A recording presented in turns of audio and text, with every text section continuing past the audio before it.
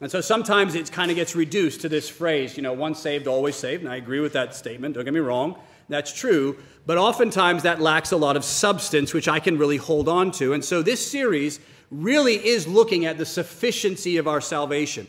We want to see in Christ that we have all that we need for life, eternal life, and godliness.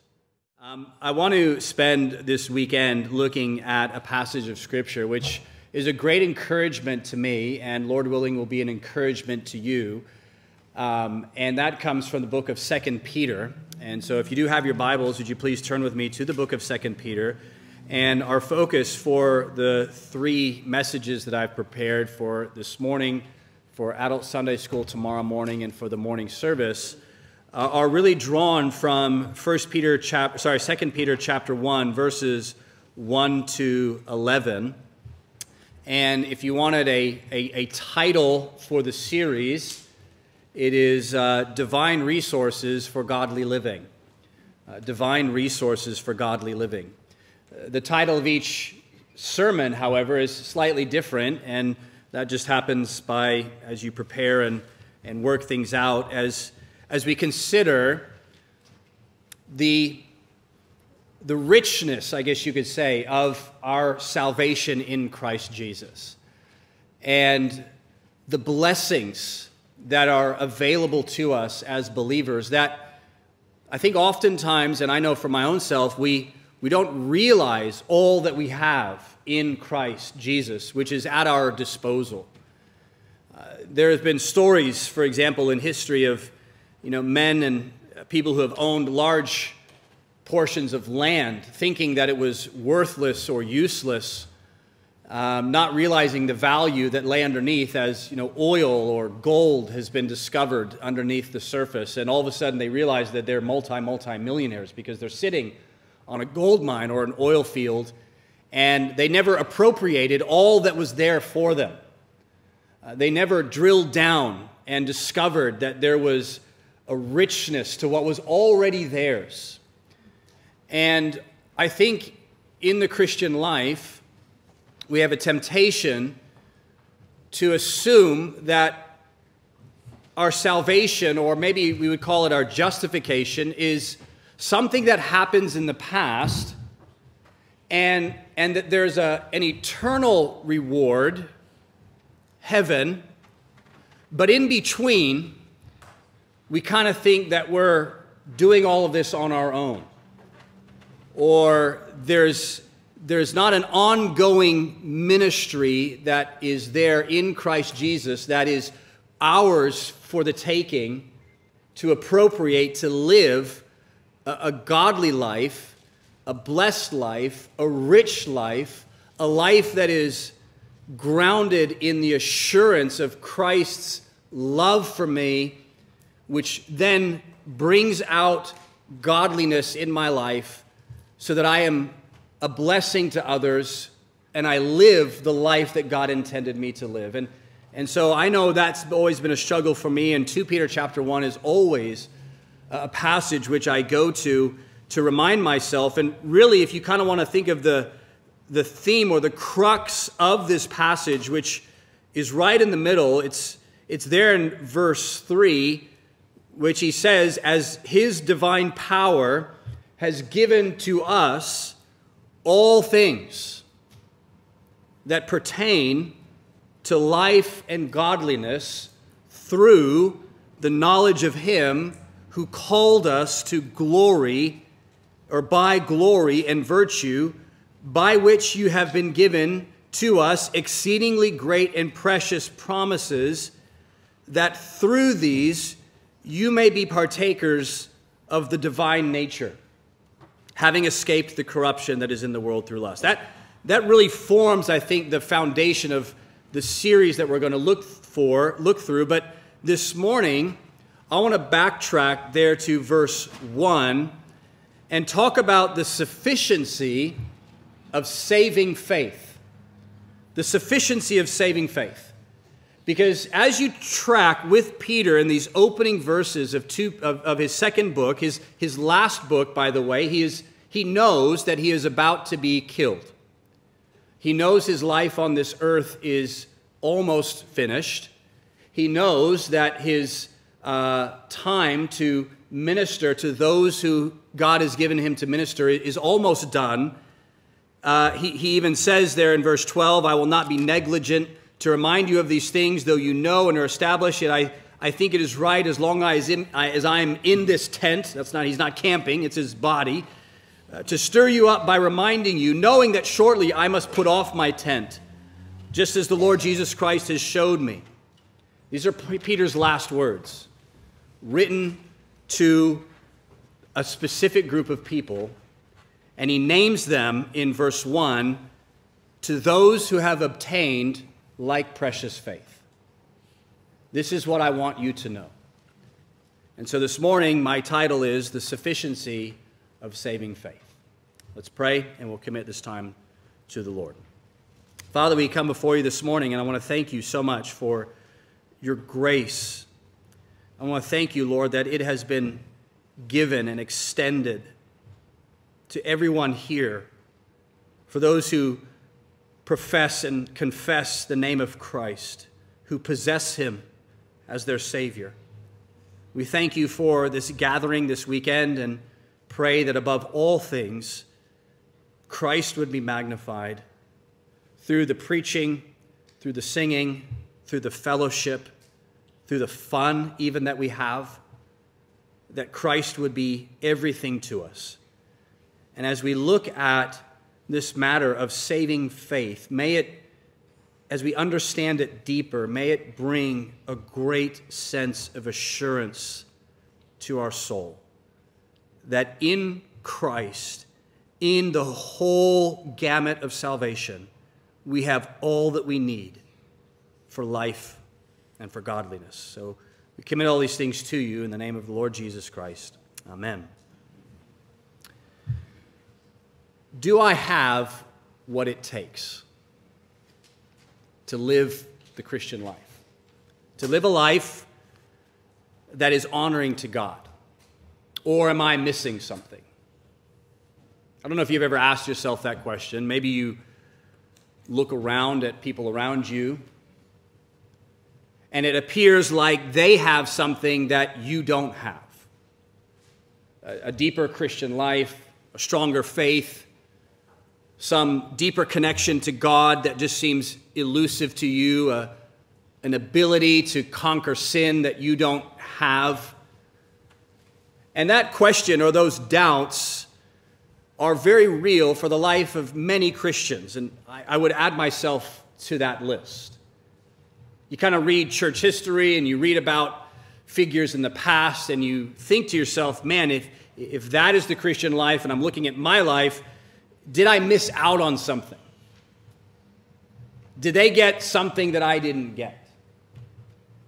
Maybe I need something more, or maybe there's something wrong with me. Don't get me wrong, there is something wrong with all of us, but maybe there's something extra wrong with me that is stopping me or hindering me from living out the life that I see the Bible says I'm supposed to live, or that it appears that everybody else is living around me. These often thoughts can plague the mind of the Christian and cause us to live in a great sense of doubt, frustration, fear, and sometimes even leads people to either walk away from the faith altogether because they say, well, it's just too hard and I can't live up to the, the life that I know I'm supposed to live, or they become disillusioned, they check out. Maybe they still attend church, but they don't really become fruitful in their life.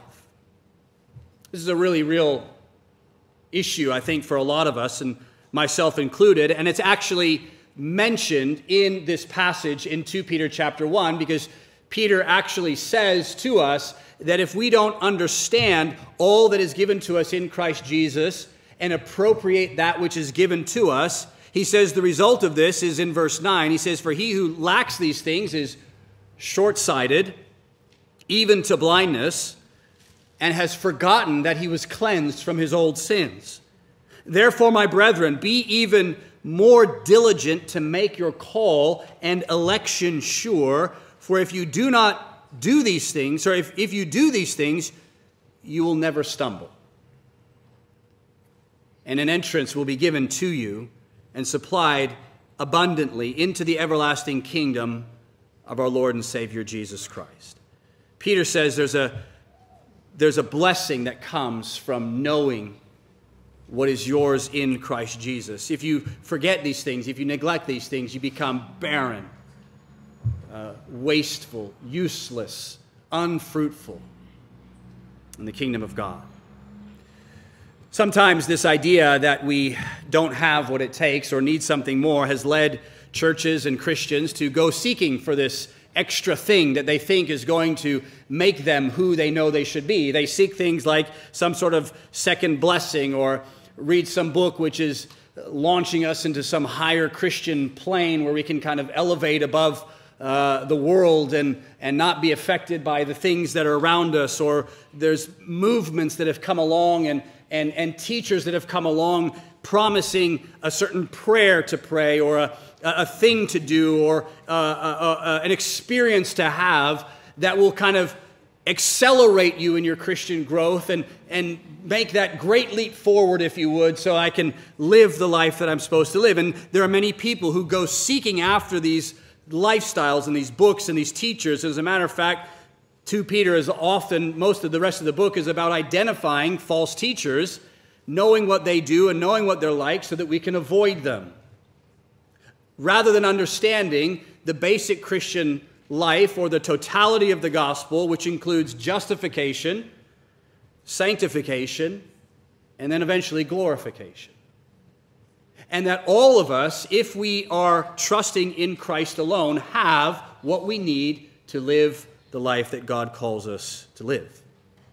But there are many believers who do struggle with this idea, what we would call of assurance of salvation. Do I have everything in Christ that I need? And, and I think sometimes, and I know I grew up in a church culture which kind of alluded to the idea of my assurance of salvation is kind of reduced to this idea that I know I'm going to go to heaven when I die.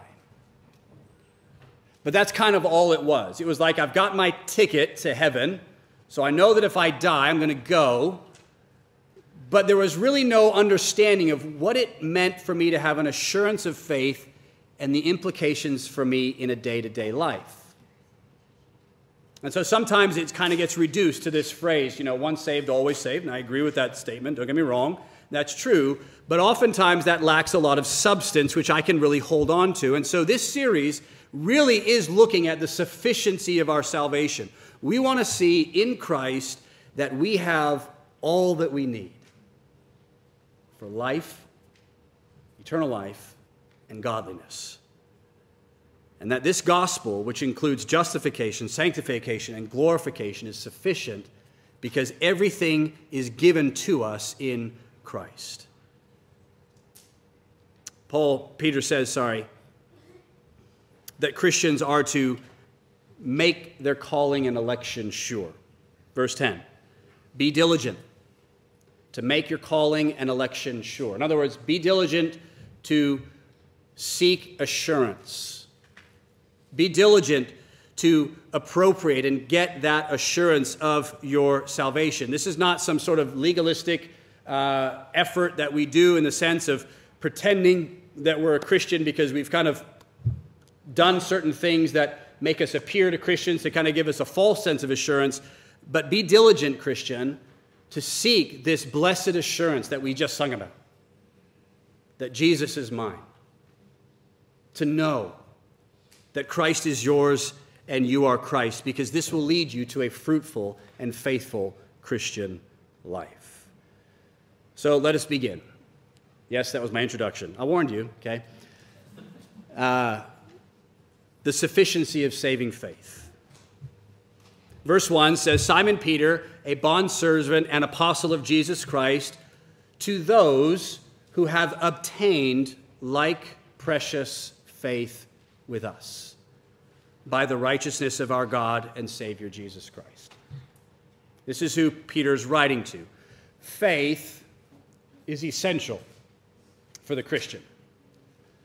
But without faith, it is impossible to please Him. Hebrews 11:6. The just or the righteous shall live by his or her faith. Romans 1:17. For by grace are you saved through faith. Ephesians 2, verse 8. Faith is essential. Um, faith is, is, is what separates the, the saved and the unsaved. Salvation is by grace through faith, but we must understand there are different kinds of faith. In other words, faith, in its simplest definition, is simply trust or belief. But many people have faith. Actually, I would say everybody in the world has some degree of faith. They all believe something, they all trust in something. Even the atheist has faith. They believe in what they cannot see or have not seen. They believe in what they have heard. They believe in what they have read, and they stake their life upon those things. So everybody has faith. There's different types of faith. For example, the, the heretics that are going to be listed in 2 Peter have a false faith. Okay, their faith is not saving faith. It's, it's completely fraudulent. It is not in Christ alone, and it leads to and is based upon heretical beliefs which do not bring salvation, but rather damnation. And they are espousing those beliefs, trying to get people to trust in what they say, and there are all kinds of things that, that bring people to a false faith, which leads to damnation. Uh, the hypocrite also, for example, has a, has a feigned faith. Uh, it's a fake faith. It's a faith which appears to be genuine. It's a faith which appears to be Christian, but they don't have a genuine faith. And it eventually reveals, is revealed in their life to be all a show and all a sham. They've put on a facade. They've tried to nail Christian fruits to their life without there being a genuine trust and trust and, and belief in the Lord Jesus Christ, and they've become a hypocrite. And then there's a fruitless faith. Similar to the hypocrite, there's many who profess genuine faith in Christ, but there is no evidence or fruit to their life to demonstrate otherwise. So, in order to have a sense of assurance, we need an understanding of what saving faith really is. And when we understand the origin, the nature, and the sufficiency of saving faith, this begins our growth as a Christian. Why do I say that? Well, because in verse uh, uh, 5, when he begins to talk about the things that are the fruits of saving faith, he says, Give all diligence, add to your faith. So faith is the foundation. Faith is the, the seed, if you would, that goes into the soil, which then springs up out of that the, the tree or the fruits of, of, of real, genuine faith in Christ. Faith is the beginning. We all start by faith. We, we, we uh, trust in Christ. We uh, believe on the Lord Jesus Christ and are saved, as the Bible says. It's the beginning, if you would, of the Christian life. But look at verse 1. He says, To those who have obtained like precious faith, Christian, again, describes the Christian as someone who has, sorry, Peter describes the Christian as one who has received faith, which results in salvation. Um, so, what do we see about saving faith? I've got three points this morning. First of all, saving faith, true faith, is a supernatural faith. All right? Saving faith is a supernatural faith. Now, I got to understand with the idea of faith, faith can be both a noun and a verb. All right? And, and uh, so usually when we use the verb form of faith, we translated the word believe, right? That is faith in action. So in order to believe, however, on something, I must have something upon which I can believe. There must be something present in me which enables me then to actually place my faith or trust or cry out or depend upon something else. And he says here, look at how he describes the Christian. And this is fascinating. He says it's to those who have obtained like precious faith. So when I say saving faith is a supernatural faith, what do I mean by that? I mean that true saving faith, faith that cries out, trusts in Christ alone, and in his righteousness the Bible describes as something that is actually obtained or received. Now, we often, again, think of faith as something we do, and there is an element to that which is true. We are called to believe, we are called to place our faith in. But here he says, You have obtained saving faith, it's come to you. The Bible says faith comes how? By hearing, and hearing by the Word of God. So when I say supernatural faith, what I simply mean is that saving faith does not originate solely in the heart of you and I. This idea of obtained, it's in the passive voice, which I know maybe we're stretching our uh, grammar here, but you know, when we think of active voice, the subject is doing the action. Passive, the subject is receiving the action. He says saving faith is given to you. It's a, it's a gift given to us by God. The word translated obtained literally means given by divine allotment or to gain by divine will. So, yes, we exercise faith in Christ, but the, the power or the ability to do so comes from God. Why? He says it's His divine power. Verse 3 that has given to us all things that pertain to life and godliness. All of salvation is a gift from God. All of salvation is a blessed gift that God gives to his people. It is everything comes from him. Saving faith is exercised, yes, by us, but it does not originate with me. It is a, a work of grace that God gives to us. And how does it come to us? Well, we've already said it comes through the Word of God, but here specifically, he says it also comes through the knowledge of God. Faith comes to us. In other words, what springs up in our heart to believe on the Lord Jesus Christ is when the knowledge of God is brought into us by the Word of God, and that springs up something inside of us so that we are able to believe upon Him. And so saving faith comes from God. It must have, of course, the right object. Faith alone is only saving faith if it is in Christ alone. And the Christ alone upon which we trust must be the Christ of the Scriptures alone. There are many Christs out there, aren't there? There's lots of Jesuses out there that everybody's preaching. There's political Jesus, there's social justice Jesus, there's uh, rainbow Jesus, there's uh, um, you know legalistic Jesus, there's religious Jesus, there's teacher Jesus, there's all sorts of Jesuses out there. And many people are trusting in a false Jesus because they haven't got the knowledge of God through the Word of God. And you are blessed, I know, to be in a church where your pastor preaches the Word of God and wants to impart to you the knowledge of God. Why? So that faith can be brought into your life, so that God's grace and mercy and love and kindness and righteousness can be imparted to you, and that springs up a love for Him in your soul. What great humility, but comfort this should bring to our hearts to see that salvation is a work of God upon our souls. You know, I, I, firmly believe that if God just simply left us on our own to find Him in the dark, on our own, and said, Okay, I'm here, you've got to come find me, that no one would find Him. Jesus is the Savior who goes and finds the lost sheep and brings him back.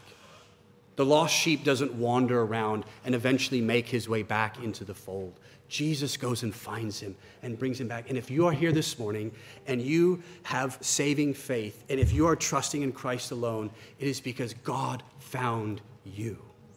God came for you. God saved you. For some reason. And I, and I read the scriptures and I, I see Romans 3, how it says, All have sinned and fallen short of the glory of God. There is none who is righteous, no, not one. And there's none who seeks him. And I read that and I say, Okay, I know I'm, I'm part of the none that doesn't love God. And I know I'm part of the none that is righteous, but I'm also part of the none that wasn't seeking him. Why am I a Christian? Because God sought me. Why did he seek me? I have no idea. I have no idea. And it is the most humbling thing to realize that for some reason, God would seek and save the lost. And for some reason, when the Word of God was preached, it generated faith in my soul, and I believed. Why me? Why you? I don't know. I really have no idea. Saving faith is a supernatural faith. Saving faith is also the same faith. Now you look at Peter, he says, To those who have obtained like precious faith with us. All right, so you could translate that as well faith of the same value as us. Well, who's the us? Well, it's obviously inclusive of Peter. Who's Peter? Uh, he's one of the apostles. Not only is he one of the apostles, he's like the, the, the top of the apostles, right? And you have Jesus, and he has his 12. Out of his 12, he has his three Peter, James, and John, who are with him in some of those most intimate moments. And yet, even out of those three, Peter is kind of like the first amongst equals, if you would. I mean, Peter's there at the Mount of Transfiguration. Peter's there in the Garden of Gethsemane, sleeping, but he's there. Peter's on the water, walking with Jesus. I mean, people give Peter a hard time, but he's the one who got out of the boat, right? Peter saw the resurrected Christ. Peter was there in the upper room. And this is what's fascinating. He says, Your faith is of the same value as mine and us, the apostles, and all those who have trusted in Christ. It's of the same in kind, it's of the same value, and it has the same effect as the faith of the apostles. And this is a remarkable statement. To the same, the same faith which the apostles had is the same what you have in Melton, Victoria, 2,000 years later. It's the same value. It has the same impact. It has the same result. It's in the same person. God is no respecter of persons. Here's the apostles, and yes, they had a different calling and a different gifting and a different role to play in redemptive history, and God enabled them to do things which you and I don't have the ability to do for a specific purpose and a specific time for a specific reason, but the faith is the same. So you who has trusted in Christ has the exact same faith as the apostle Peter who literally saw Jesus transfigured on the Mount of Transfiguration. What do I mean by it's the same? It's the same origin. Matthew 16, 17. You remember when Peter was asked by Jesus who he was, and Jesus, Peter confesses Christ. He says, You are the Christ, the Son of the living God. That's the confession of a Christian, right? Jesus is the Christ, the Son of the living God. And what does, God, what does Jesus say to him? He says to Peter, Flesh and blood did not reveal this to you, but my Father in heaven. It's the same origin. The only reason Peter could confess the Lord Jesus is because God revealed that truth to him. Jesus did plenty miracles, and many people saw them, but didn't confess him as Christ and Lord.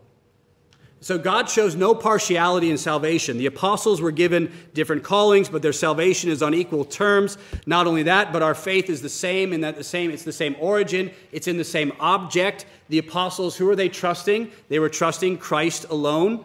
Ephesians chapter 1, uh, verses 11 to, to uh, 13, he says this uh, in Ephesians 1.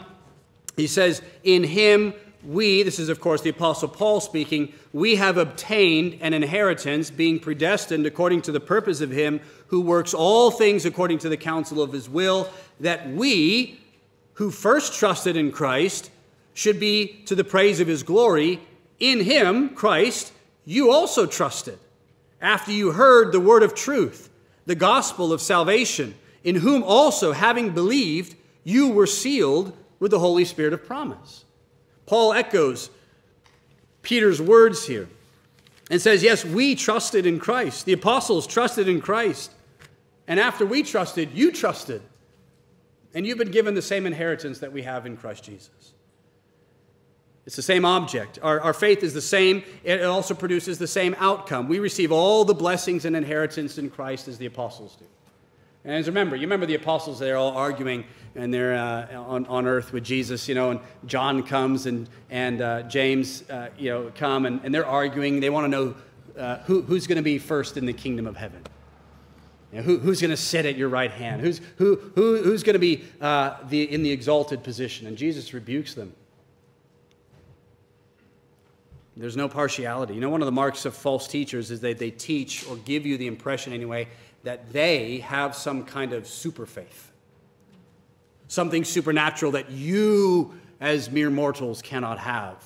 Well, unless you pay them, of course, to get what they have, or follow their teachings, or commit yourself to their lifestyle. No, no, saving faith was sufficient for the apostles, and that faith is the same. Lastly, saving faith is a secure faith.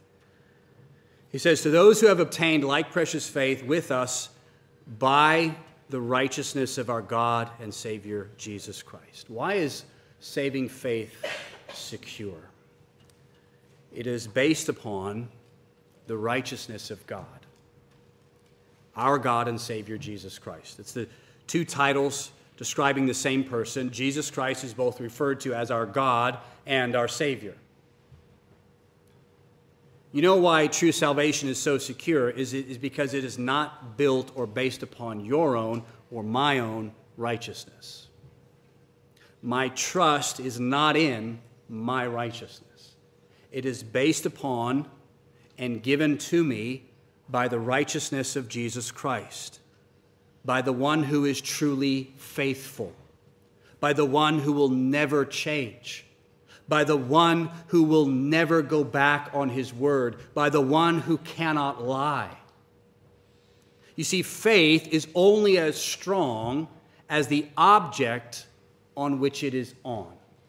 So, for example, where I'm originally from in the United States, in Seattle, or Northwest area, every year um, it would snow, and where I lived in one of the places we lived, it was kind of a wooded area, and there was these little lakes um, that would freeze over every winter. And my brother and I would often go down to these lakes, and we'd take rocks and we would throw them out into the lake, and you'd see if it would, the rock would break through the ice. And, uh, and sometimes you'd throw a rock, and it would just go boom right through the ice. So it's a very thin sheet of ice. Sometimes you'd throw a rock and it would just bounce. You know, you could tell the ice was a lot thicker. And then we would be stupid and, and try to walk out on the ice. Okay?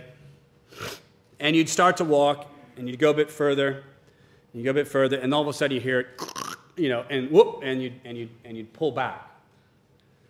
Now, you think about a lake that is frozen over, and it's, you know, a thin sheet of ice well, you can have great faith, great confidence, and boldly walk out on that lake. And it doesn't matter how great your faith is, you're going down. Or you could walk out on a lake which is frozen this deep, and you could be timid and fearful and trepid and scared, but that ice will hold you. Because it's not the strength or the confidence that is in you that makes you safe and secure, it is that which you are placing your faith in. You see, the hypocrite trusts in his own righteousness. The hypocrite and the man who has, the woman who has false faith depends upon their own performance to guarantee them a degree of assurance or security in salvation. But the Christian understands that we are made righteous because Christ's righteousness is given to us. And we are rendered before God as acceptable to Him. He clothes us with His righteousness. Salvation is a gift of God in all points, which is why it is so secure, both the faith that he imparts to us through the hearing of his word, through the knowledge of his son, and the righteousness that is needed to satisfy God are given to us in Jesus Christ.